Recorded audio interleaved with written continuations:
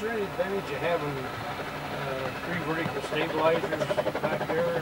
Well, they always, they had always done double tails on it, Mhm. so it's kind of the way they did it. When this came along, they got two choices, big high tail in the middle, or you gotta have enough rudder there to do it. Yeah. So they went with this big, uh, so they wouldn't get so high. So that's it. Do it manually. Yeah. That gets heavy. My gosh, guys, we got a guy that does it, navigates for us, celestially, you know, like in the stars. It's out, it's out of Kansas City. But I think they said there's only like two of them there. there's a couple that fly occasionally out of Santa Fe, especially All out. those, all, all those.